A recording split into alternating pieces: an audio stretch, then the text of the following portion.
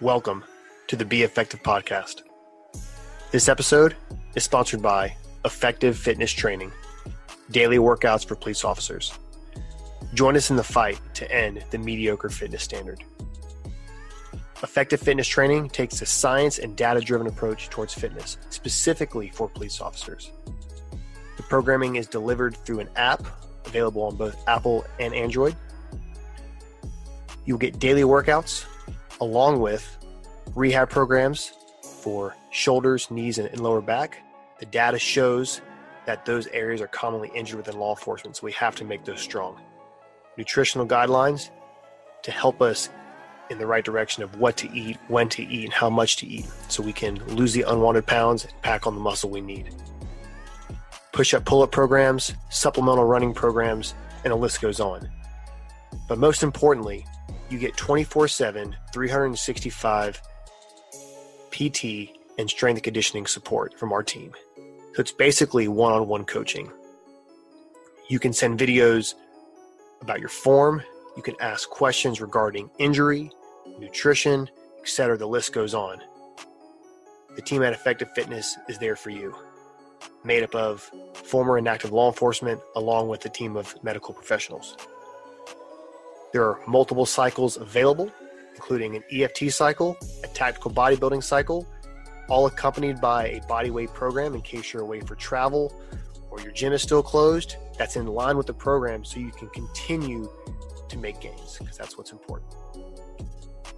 Not only will this program make you effective, it will also help benefit other necessary disciplines for law enforcement or those that want to be effective, such as jujitsu, defensive tactics training, shooting, and the list goes on. We understand we also incorporate agility, mobility, and recovery. They play a major role in the success and the foundation of our survival when it comes to our physical health. So, for more information, visit effective.fitnesstraining on Instagram. That's effective.fitnesstraining on Instagram. Episode 5 Mr. Scott Puckett. Scott's a good buddy of mine. Met him back at a Bob Keller class a few years ago, and him and I hit it off pretty well. Scott served in the Marine Corps. After that, he served in Iraq and Afghanistan with Blackwater as a contractor, working with Department of State, DoD, etc. After his time overseas, he came back, became a police officer for a number of years, working in many different capacities SWAT, special operations, all that kind of stuff. But Scott is he's Mr. Expendable. Like he looks like he belongs in the movie The Expendables, where he's a 48 year old dude that is jacked as shit. Phenomenal resource when it comes to fitness and health. He was actually a wellness coordinator um, at a local sheriff's office here. Scott has a phenomenal background. He brings a lot of experience to the table. So, without further ado, episode five, Mr. Scott Puckett. Enjoy.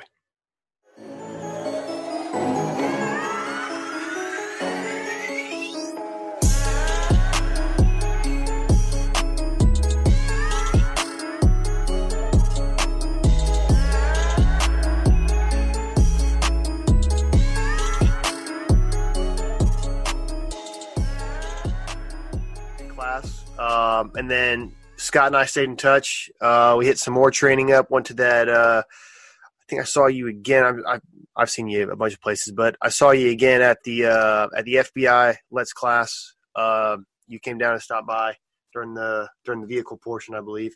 Yeah, man. Yep. That was that was that was some really good training there. But yeah, man. And then uh, and then Scott now is is now director of operations of of of the sawmill. And you guys you guys heard it. They have all kinds of training going on. They've had uh, who all have you had down there so far? Oh man, wow. So this so it's really cool, man. This is I'm celebrating a year this week. Oh wow, that, a year ago, yeah, man. So it was actually technically last week. The uh, these guys showed up from uh, Catawba County, North Carolina. The, they have a, a what's called STAR team, and it's it's a multi-jurisdictional SWAT team is what it is, made up of the sheriff's department there and other agencies within their uh, within their jurisdiction to plus up and to augment the team and to keep the team, you know, fresh, full of talent and young people and guys that are capable, you know, not obviously just young, but capable people for the SWAT team. And so they they came in on Sunday, and we basically celebrated a year together. They brought the banjo. He did a little picking and grinning. I didn't. I was just listening and enjoying it. There you go. And, uh, and so they're here now, and um, uh, let's see. Since then, since these guys, which makes a full year, we've had I've had local SWAT, I've had FBI out here, I've had uh, a multitude of civilians, man, which I'm really stoked about. Of course, the That's military awesome. coming out here, uh, all kinds of different agencies, state, local, federal. You, they've been through here, but again, man, I'm really stoked to the fact that there's a lot more civilians taking taking charge and responsibility for themselves and their own safety. You know. Sure, and that's you know, and that's something that you and I have always have always harped on because, you know, uh, as former law enforcement guys, you know, we were always never there, right? Usually, when the call happened, we were never there, right? Like, it, so so the incident, right? So the incident ha- has already occurred. So really, it puts the hands uh, uh, of the outcome into the individual there which is not law enforcement, which is usually not anybody of authority or anybody of of that capacity. And so this is why the importance of training, regardless of occupation, is extreme is extremely important. And That's and that's so awesome that you extend those classes. Um, not you know, I mean, obviously there there are different classes, right? Like you're not going to be doing. Um, you know, like an FBI class or a no-name class with with uh, with uh, civilians, right? Right. Uh, just you know, just an open enrollment. You know, what right, right, what sure. So, so what are your biggest hits when it comes to civilian classes? Wow, man! By far, the most popular that we've had, and it's a, it's huge. It's been huge since April. Is uh, Mike Glover and Fieldcraft Survival, man, and Kevin and Raul and the boys. Man, they came in here like gangbusters back in April and since then, it's blown up. We've had some big hits, even you know through June when it's, as you know, here in South Carolina, it's blazing hot, man. But oh yeah, they filled the house. They filled the house, man. They come in here, and it's it's a it's a busy weekend. And that's awesome, it, man. And Mike I, uh, and the boys are coming back in in November, uh, the 12th, 13th, 14th, 15th. Oh wow, okay, yeah. I was just again, I was just in Montana uh, and I believe Mike was as I was leaving, he was coming in. And I actually reached out to Mike and was trying to and was trying to meet up with him uh, prior to leaving Montana. But I definitely would like to get him on the podcast because you know I love uh, I love his outlook on uh, on certain things and and I mean he, he's obviously got a shit ton of experience, which is, yeah.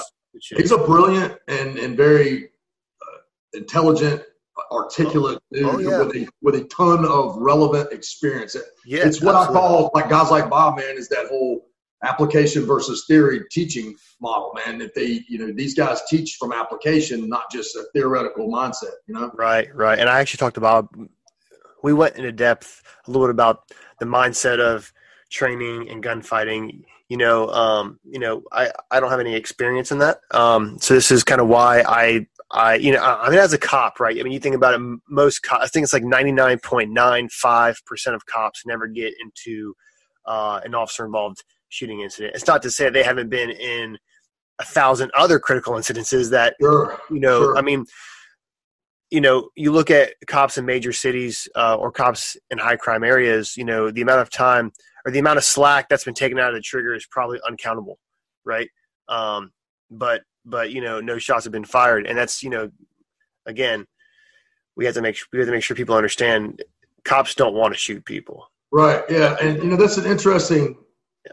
Uh, piece of data man that i would love to know more about because there's a lot of cops that are, are, are quite a few that i've talked to over the years and meet met and or read about and or you know studied that were uh, that had been in multiple gunfights you know and yeah. begs oh, the yeah. question, why? Why is it that, again, that the, the 1%, if you will, are in the majority of the gunfight? So I don't know, man. It's just it's curious. I'm curious about that. That's yeah, I mean, you know, I think it also depends on the type of the type of police officer, right? You know, I mean, it really depends on their level of motivation, the the targets they're going after, um, you know, the area they know, and sometimes sometimes shit just happens, bro. You know, I mean, shit, dude. You know, shit just. Oh yeah. You just open the door and you're like, "What the fuck?" Oh yeah. Oh, yeah. You know? Um, and and you know, I mean, the data there, you know, especially with this most recent shooting in Philly that just happened. Um, yeah. Have you seen it? Oh yeah. You saw? Okay, okay. So, I mean, the guy came at two police officers with a knife. I mean, it's yeah. it's it's this has happened. It's pretty obvious pretty cut and dry, right? This has happened multiple times over the past couple months, right? There was a there was that one in Chicago. There was another one I think in um, uh, Pennsylvania, um, where where where a subject uh, approached police officers with with a knife. Length doesn't matter. Of knife is a knife's a knife, and so now, of course, the city is burning uh, because of this incident. Um, and what do you think? Because it just feels like every time this happens, every single time so far in 2020, this has happened.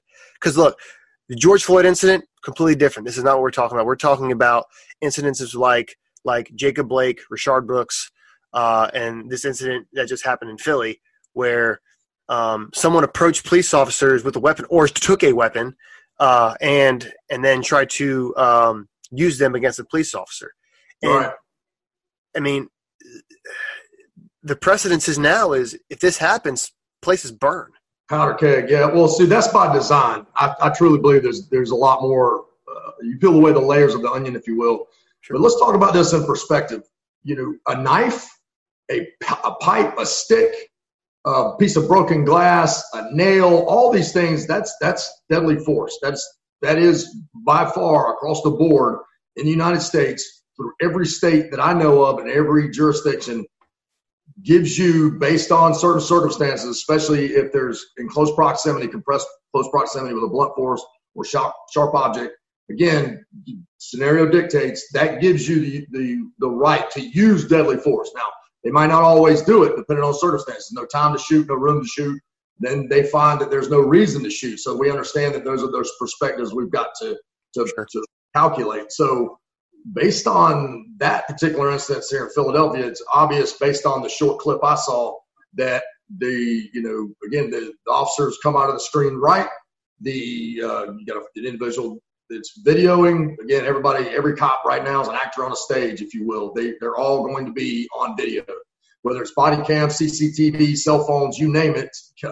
ATMs, door ring, bell, camera, whatever. Everything, bro. Everything's everything, recorded. Everything is, is up for grabs. So with that being the case, you know, you know, there, there's always going to be multiple angles as well. So based on what I saw, the guy comes at him. I mean, he had the intent. It looked like everything. He had the intent. He had the opportunity. There was plenty of jeopardy there, really.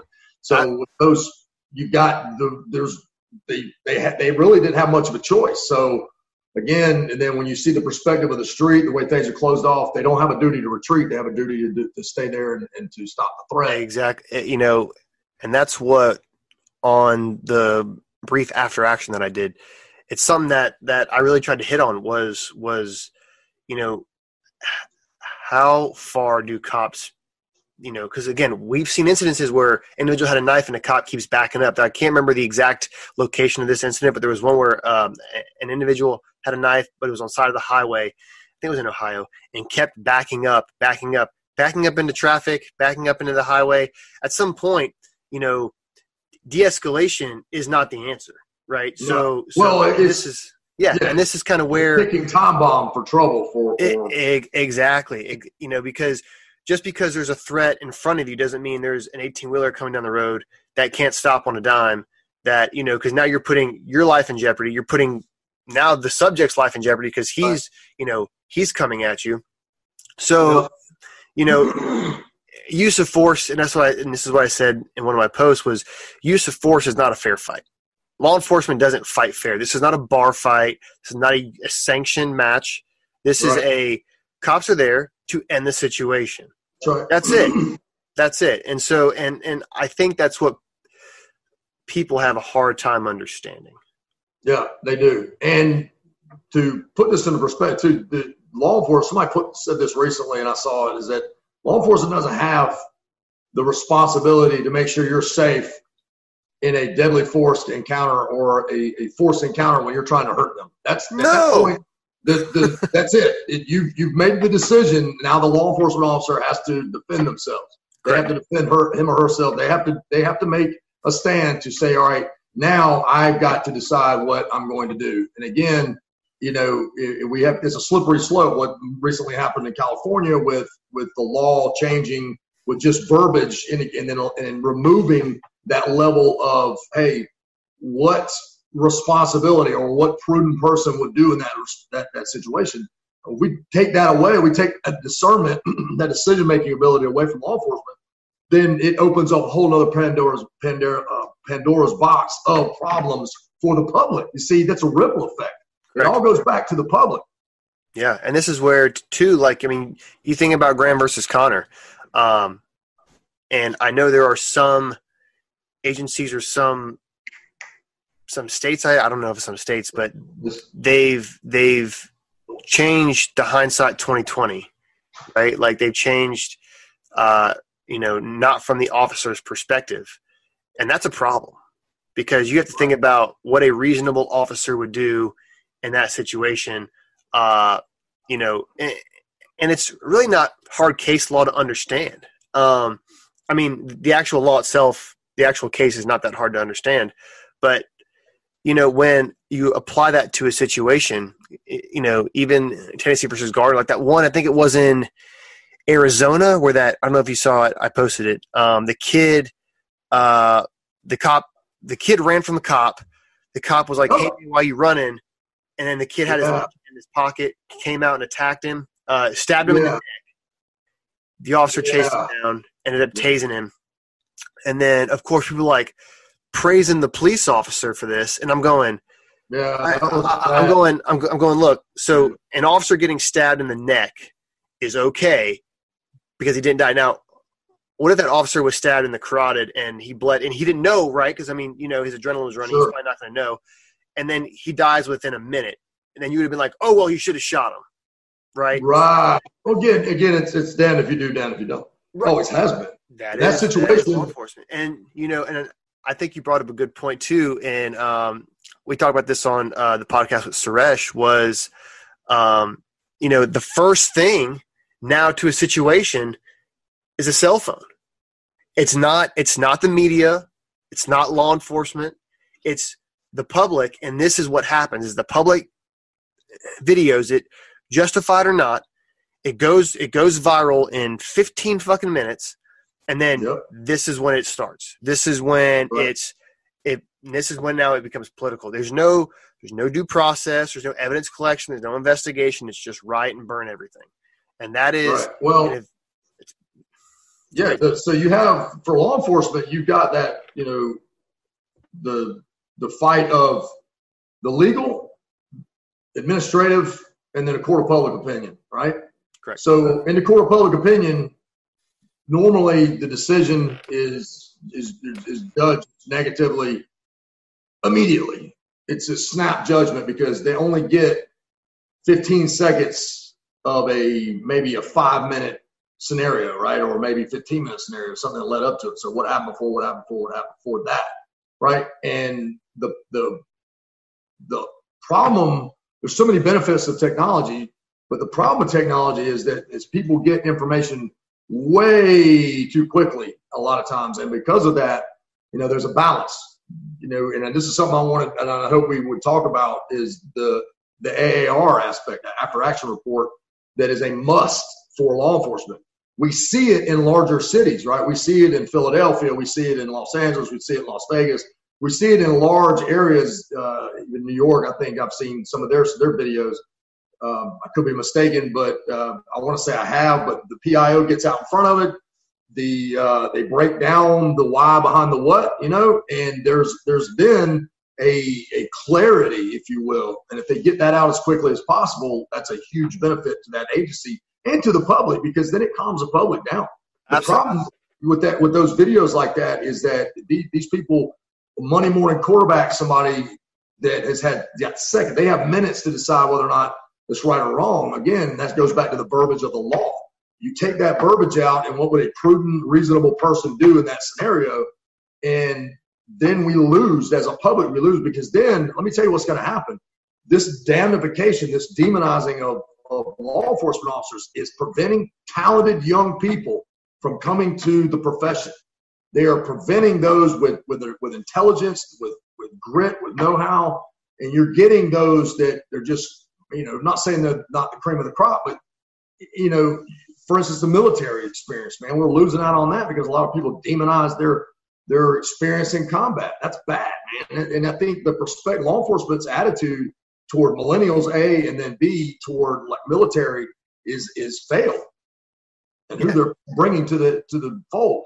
And I would agree with that. Um, I would definitely agree with that 100. percent I mean, pay aside, benefits aside, law enforcement. Um, the current status is I can't tell you. I get countless DMs about uh, from aspiring police officers. Hey, I just graduated college, or um, you know, I just I just got done with high school, or I'm 20, about to be 21.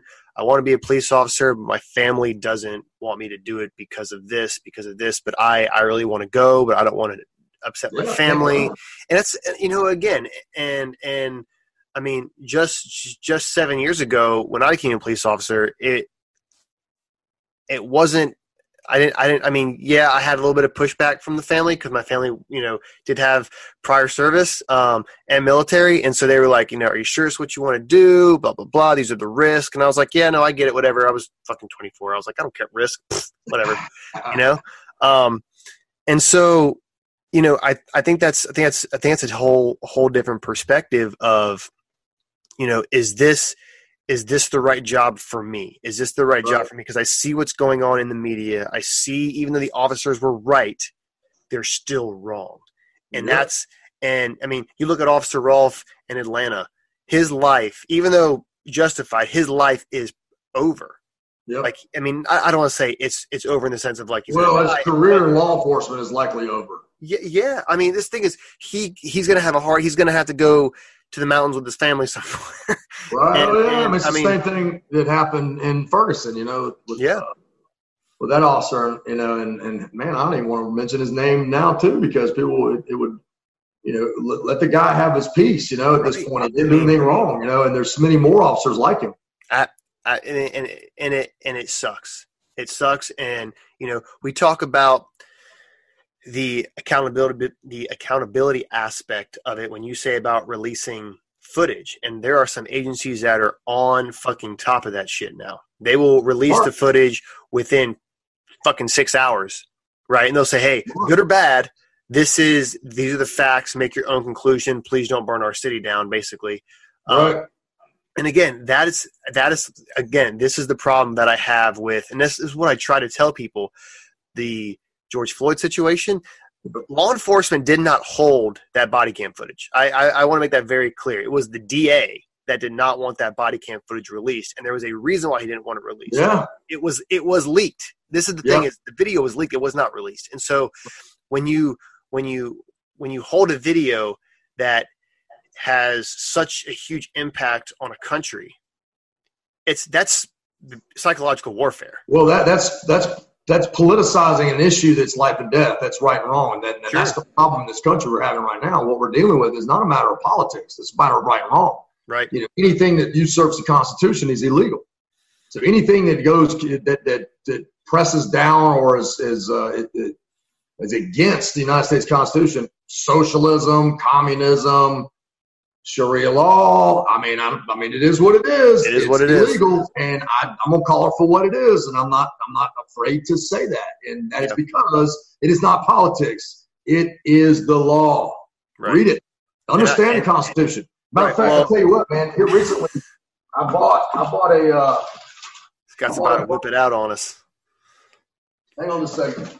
I bought a bunch of these to start sending out or giving out when I yep. sell. This is basically the Constitution of the United States, the pocket version. It breaks it all down in here, man. These are awesome, an awesome uh, resource because people need to know the Constitution. They're not teaching it in school anymore, man. No, no, they're, they're not. not. And this, you know, and this too, Scott, as a as as a former law enforcement guy, you know, um, especially with all this all this two A talk going on, and um, you know this is something where you know i again i can't speak for all cops but all of the cops that I personally know, right, understand the importance of the Second Amendment, understand the importance of the Constitution, and will say, I took an oath to defend this Constitution. And and there are some cops, again, I can't speak for all, but right. the ones that I know and the ones that I I'm friends with, because I'm not I'm I, let's let's be honest. I'm not gonna be friends with someone that wants to take away guns. it's just that's just not, not, a good idea, man. Because it's not a good idea. You it's fuck with people's guns, you fuck with Illegal. people's money, they get pissed. They get pissed, and then they're gonna do what they got to do, and that's and that's that, right? And so, you know, it's almost hysterical because whenever we post something about you know someone in, in possession of a firearm that shouldn't be, right? We're talking about violent felons. Uh, and things of that nature. Um, and I had a conversation uh, with my buddy Andrew um, about about this. He's extre- he's a cop, extremely you know pro two A, hundred percent good old country boy, you know. And he he basically told me he's like, you know, it's it's pretty hard to commit a violent felony. Like you have to like go out of your way to say, you know what, I'm gonna I'm gonna rob that 7-Eleven right there, you know. So for me personally, I think that you know, drug crimes or even nonviolent felonies, right? But when it comes to violent felonies, I I think that I think that right should be taken away. Um, you know, murder, rape, you know, yeah. those those types of crimes cause harm to other people and other people's property, which is against the Constitution of the United States. Right. So so in that matter, I think you should lose that Second Amendment right. However, I could be wrong and I might get criticized for that, but you know, again, uh, drug offenses and and all that other stuff. I tend, Again, I tend to believe, on, yeah, and I tend to believe the same thing in the sense that that if uh, if you're going to commit a crime like that, it is likely that you're going to repeat that crime, depending on the circumstances. Data shows so, that. Therefore, you know, based on circumstances, case by case, you know, if someone is a violent felon and they they commit crimes over you know, repeatedly, you know, it's it's like the, you can't predict the future, right? But I'm pretty damn good at, at seeing weaknesses in people, processes, and things. All right. And so if you really break it down and you start looking at it, people are going to repeat the same mistakes over and over again. Whatever the case may be. For instance, one in, one in five South Carolinians has a mental emotional disorder. We know that. So if we have a mental or emotional disorder and they've repeatedly committed crime, then I agree with you based on the totality of circumstances that it is likely they should lose their right to possess a deadly weapon, a, a, a firearm, rather. Sure, sure. Taboo word, but, you know. Right. And that's for not only the safety of other people, but it's also for their safety. That's right. Correct. Um, and, and so, you know, I think the case by case basis, right? And I mean, there being about 350 million people in the country. Right.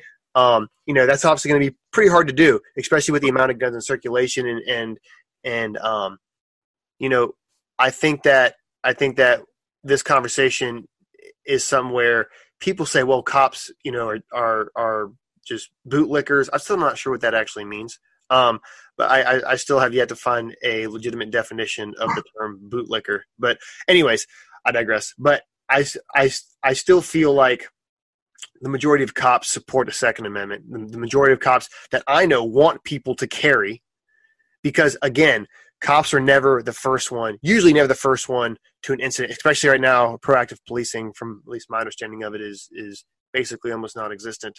Yeah. Uh, just because for some right now, yeah. yeah. yeah, fuck yeah, dude. I mean, sure, yeah. I mean, we're coming. You know, uh, code one.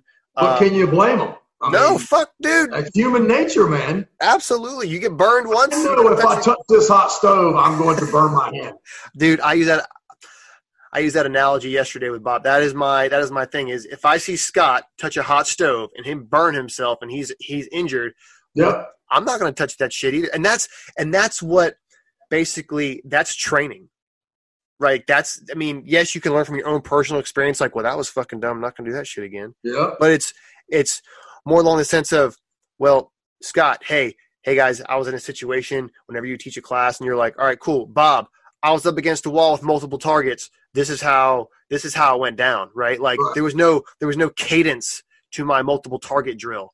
Like and i was like oh okay well fucking bob's been in you know a thousand direct action hits. I'll probably listen to bob when it comes to these things or i'll probably listen to mike glover. I'll, I'll listen to these guys that have been in these types of engagements right? Um, right. Same thing with police officers, right? Like there are a lot of great law enforcement instructors that have no military experience, um, but they but they have they have that law enforcement experience. And there's like, for example, Will Petty. You know, he's a plethora of information. His whole team, um, phenomenal guys. Centrifuge yeah. Um, are they coming to the sawmill?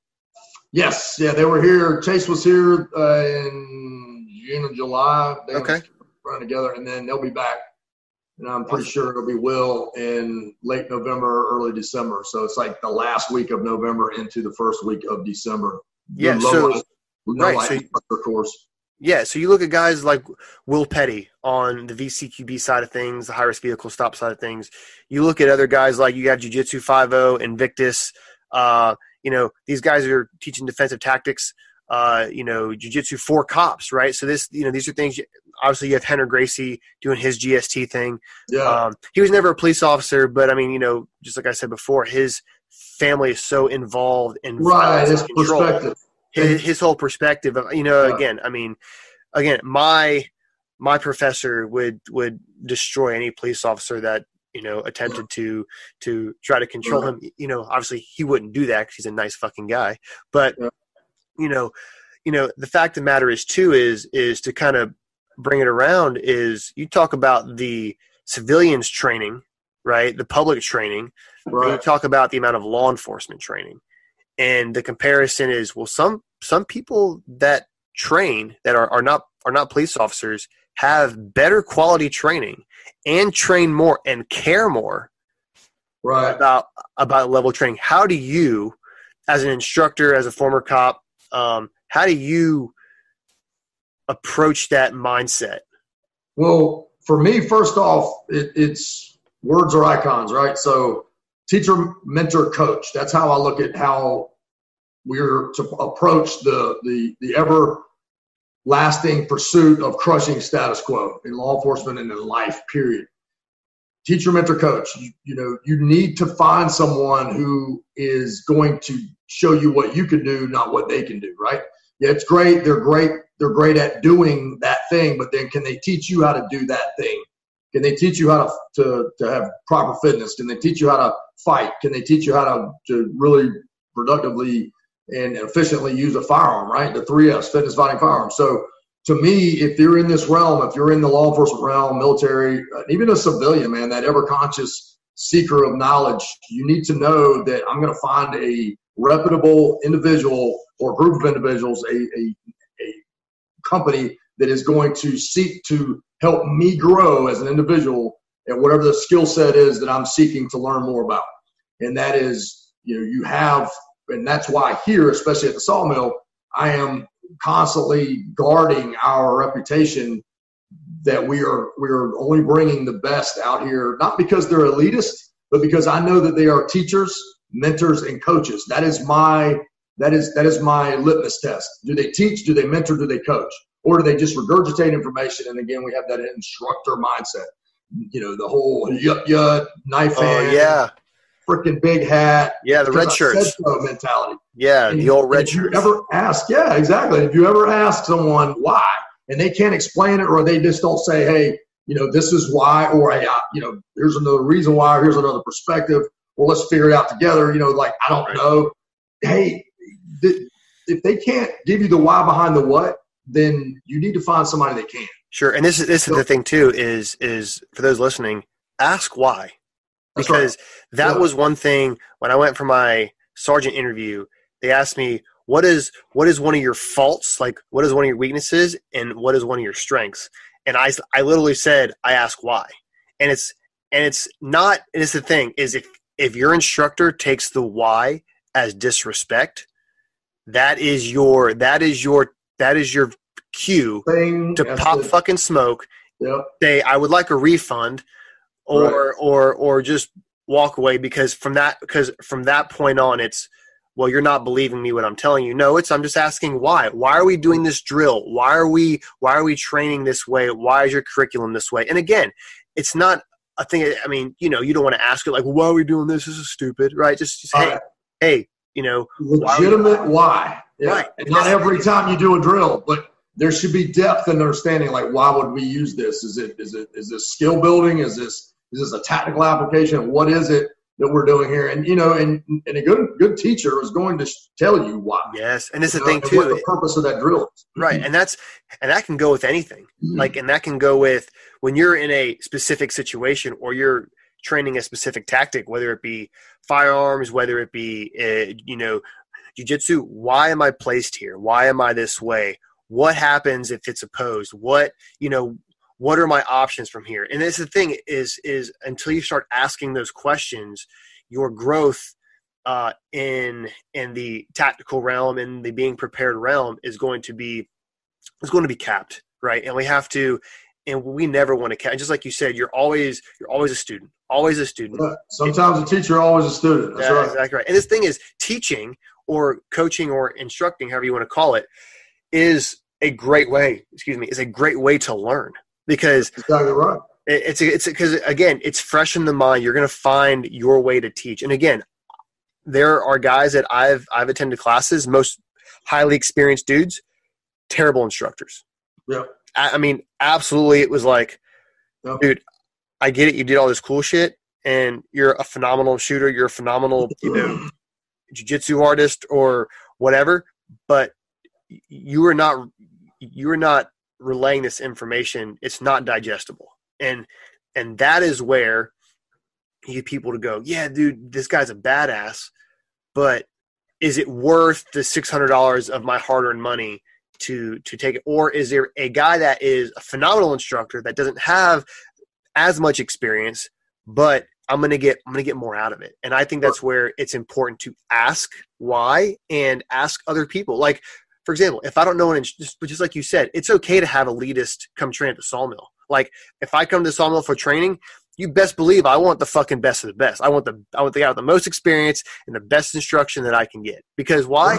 Because I also value my time right? Like, right. I mean, I don't want to spend a week at the sawmill. Granted, the sunsets are phenomenal that you post, but like, you know, I don't want to spend a week at the sawmill and just get something that's like, well, I kind of, I got, I got, I, I took away two things, and even though that's that's great. Sure, yeah. yeah, yeah. What if I could have taken away four things? You know right, what I mean? Right. So it's always that, always strive to be better. But well, um, the, the the question is, is that if you go to these, you go to a training course in as a civilian, law enforcement, military, whatever the case may be, are you walking away better than when you entered? Are you walking away with, with even if it's that, that one big thing? We always do light bulb moments at the end of class. In the, right. in the class, what was the one thing you took away that really stood out? You know, because again, you know, it's hard for us when you get you get eight hour class of just nonstop information. You may be reviewing fundamentals. You may be going over doing those drills and stuff you've already done before, but it's also a, a means to an end. There's a purpose behind those, and they're building blocks, if you will. And so, yeah, you want to feel like you've walked away with way more, but there's like, you know, people say, all right, what's that one thing that I really gained that, that I like, it was like, aha, you know, and yeah. I learn from the students as well. I'm always learning something from people. That's the point, man. You know, learn from you, you know, and that's how you want to be a seeker, right? That's one of the things I always say: be a seeker of knowledge. Yeah, dude, that's that's the thing. Is is you know, um, I got a review on this podcast yesterday, and it was a guy. He said he has 25 years experience as a cop. Um, he just left. He just retired, and he thought that uh, the second episode of the podcast with Suresh was was great. And he said something about expert, and I was like, hold up, hold up.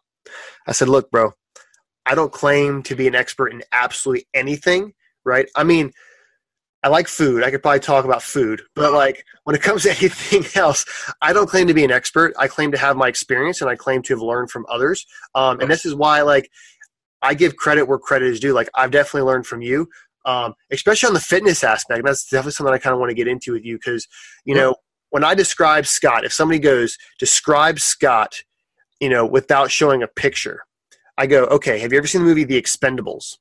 Right? You have all these like jacked, like kind of old bearded dudes that just like go around just shooting all kinds of crazy shit. I was like, that's that's basically Scott in a nutshell.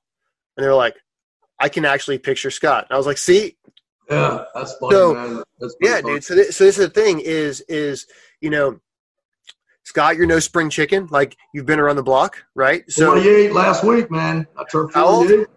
48. 48. And this dude looks like he, he's fucking, he's a fucking monster, right? So check him out, guys, uh, at the sawmill. But strong people hard to kill. That, hey, dude, that's that's the facts right there. And so let's kind of talk about how your fitness evolved from when you were, I don't know, 18 to being a cop, or excuse me, from you were 18 in the military, contractor, law enforcement right. kind of go through that kind of progression of what you learned what you picked up along the way and what you realized well that was fucking stupid because there's a lot of those in fitness yeah yeah i've had those and i've got those so i started out uh, high school you know just uh, just in general athlete trying to just you know just figure out what i like to do we did wrestling you know played around we did a lot of whole, whole lot of full contact basketball you know full contact, you know, just yard football stuff. But basketball ended up. Fouls don't exist. Yeah, exactly. You know the deal. And then uh, we call it Murrells Inlet style. And, uh, dude, I don't know why where it came from, but it just you know we used to play that way, and so um, and then you know just became a meathead in learning from a bunch of old meatheads that were in um, in the gym, you know, Gold's Gym in Myrtle Beach, and then I worked at Sands Club as a as a, fitness attendant just to get a free membership. So it was this hotel gym that had everything, the whole nine, man. So I worked there, and those dudes took me under their wing and you know, taught me how to lift weights. Well, you know, I'd say there's probably where I ran into. Well, actually, I take that back. I ran into the powerlifting is where I really got in trouble later on. But from uh, from doing that meathead stuff, you know, just bodybuilding, just lifting heavy weights, whatever it took to get stronger, bigger, to to you know going to the Marine Corps, getting injured, getting out, then going into law enforcement later on. Um, understanding the value of of athletics, but I got into powerlifting is is when I started having some problems, man. Like just stupid, stupid movement just to lift a lot of weight, like benching, and that's where I ran into trouble. And, and my advice always now to kids is unless you're just going to compete powerlifting don't lift like a power lifter, lift like an athlete, you know? And there's so much knowledge out there now that I didn't have when I was a kid coming up on how to move properly. We had the old football coaches. This is how you do it, son. I'm looking at this dude. He's got a big gut. He's got like oh, very little muscle definition, and he's trying to teach me how to lift weights. I, that should have been a sign right there. And I think what's brilliant now is that is that you know back then compared to now, kids coming up have the the technology at their fingertips compare what they're learning in school to what they what they should be learning, and that is proper movement, movement screening. There's so many different methodologies that, that will teach you proper movement screening. And if you look at the Army, for instance, as an example, they, they are now, uh, Donnie Bingham is brilliant. Donnie Bingham has brought a whole new perspective of teaching regular Army athlete kids how to be athletes, not just the special operations community. So that's brilliant because they're just not getting the physical fitness like they used to. So they're having to change with the times, and it's brilliant. So, um, and then fast forward to doing contract work. I worked for Blackwater for five years. I want to, you know, really, I saw CrossFit, didn't really understand it, but uh, still did a lot of functional fitness. I'd already been doing that for years. Plyometrics, kettlebell swings, you name it, man. Sandbags, just just good movement stuff, and then put it all together when I learned this thing called CrossFit Of course, did that for a while, coached that for a while, and we did it as a team in Afghanistan. So my first workout was at like 8,000 feet in Gardez, Afghanistan, and, and I was it was coming out of both ends, and uh, it was nasty, right? So I was like, all right, I'm on to something here. This is I like this. So the intensity ramped up into my in my late 30s and into my early 40s.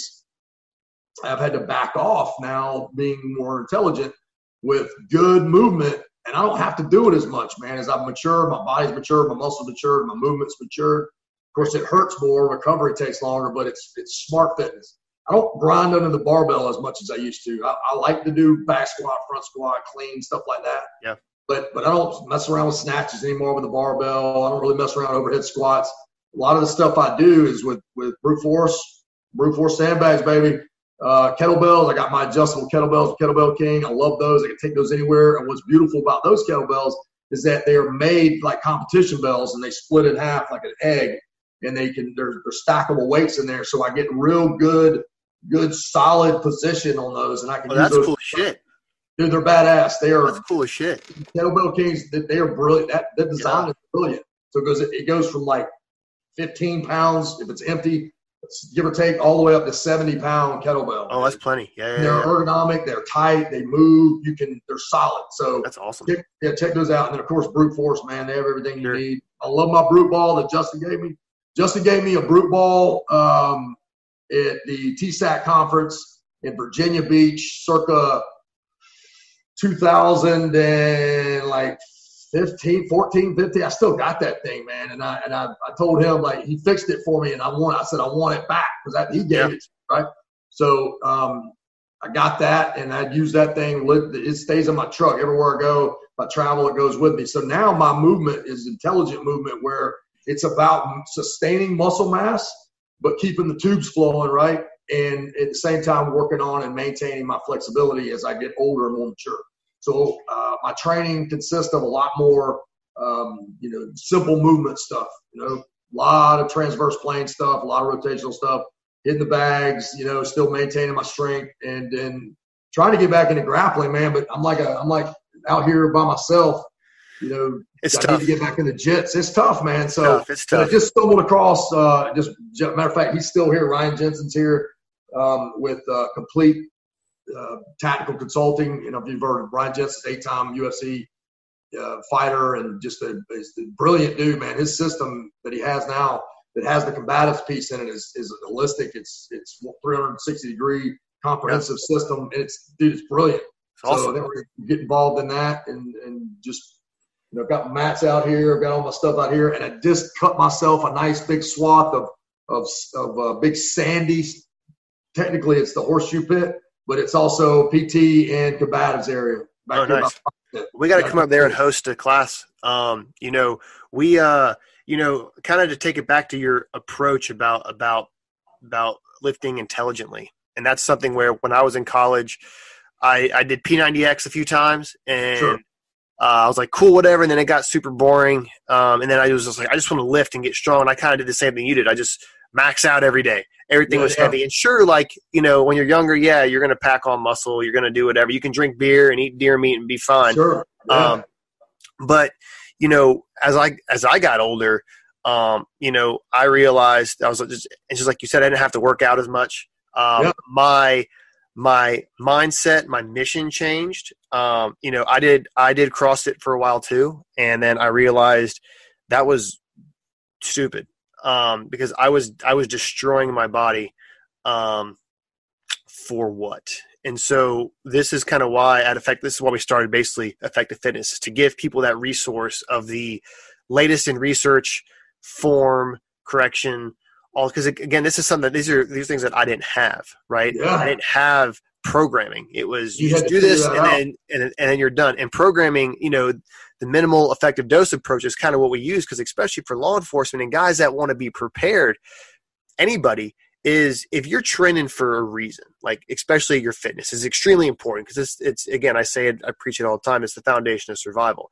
If if you're working out so hard that the next day or the next three days you're so sore you can't move, then what are you training for? You're training to be harder to kill, but yet you walk like a newborn baby deer after leg day. Like you got to be able to repeat it every day, man. It, exactly, and this is and this is extremely important. This is why I love your approach to fitness. This is why I, you know, I love your kettlebell stuff. I love I love your club stuff. Yeah, um, man, I love the mesas. The yeah, dude, they're, they're, great. Like you know, just like you said, that that that transverse plane rotational stuff, the trunk, the trunk stability. Um, again, it's not sexy. It's not the beach muscles, but it's the muscles that matter, right? Because they directly translate into shooting, yep. grappling, yep. survivable skills that that you need to have. Carrying a person, uh, your bicep does very little work. Just want to make that very clear, yep. right? It's it's straight trunk and leg strength and, and hamstring and lower back. And you know, this is why I love your approach to fitness because you and I basically have. I would I'd be confident saying we have about 100% similarity there when it yeah. comes to um, application of fitness uh, for law enforcement. Because there is one thing you said, and I've I've actually posted this, but you're uh, you're a cop kryptonite. Yeah, man. L four L five compression issues, man. You got yeah, it's, like it's you just said it. You got a strong back. You got a strong butt.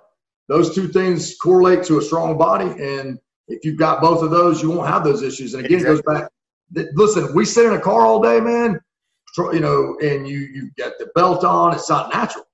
In the sitting position, we've already it's already been proven. You know, right. Kelly Starrett, you know, he really brought it to light in a huge way for a lot of people mainstream. Is that you can't sit all day, man. It's terrible for you. I got a stand up desk right here. I'm, I'm sitting down right now because if not, all over the place. But you know, um, it's hard to believe. I know I'm high strung, but uh, are you? Yeah, yeah. It's it's revelation. You're like a mal, dude. Dude, yeah. Speaking of which, man, tennis ball, butterflies, anything. Yeah, right? yeah, squirrel, squirrel, fucking. But yeah, it, it's again, you you got to squat every day, man. You know, and you you got to move. You know, move. Motion is lotion. You know, oh, that's, it, that's why. You know, and this is why. You know, this is. I think this is you and I. Why we've also stayed in contact so long is because our similarities and our missions are basically in line. And I, I am so glad that uh, you know you, you, are now developing the sawmill into into its true potential because I, I, can't believe it's already been a year uh, for you at the sawmill, and that's and that's phenomenal. So, guys, Scott Puckett, really good buddy of mine. Um, get your ass to the fucking sawmill and go train, um, guys. They uh, Scott. So, where can they find? So, where can the listeners find more information about your classes uh, that you guys are hosting? Okay, a couple different ways. One is the sawmillttc.com, sawmillttc.com. That's our website. All our events on there, frequently asked questions, cover you know the do's and don'ts, what we do, what we don't do, etc. Social media, of course, you know we're still using that. Uh, necessary evil, Instagram, Facebook, you know, right? I know, dude. I, you know, the sawmill TC, the at the sawmill TC, and then of course on Facebook, the sawmill and uh, I think it's the same name. But then you know we've got those conduits for communication, and, and that's a lot of stuff we push out through the IG, and then it posts on Facebook. Um, those are those are it, and of course, you know, just coming here, man, and looking at our class schedule, looking at the all star lineup that we have here of, of people come out, train, and take advantage of it.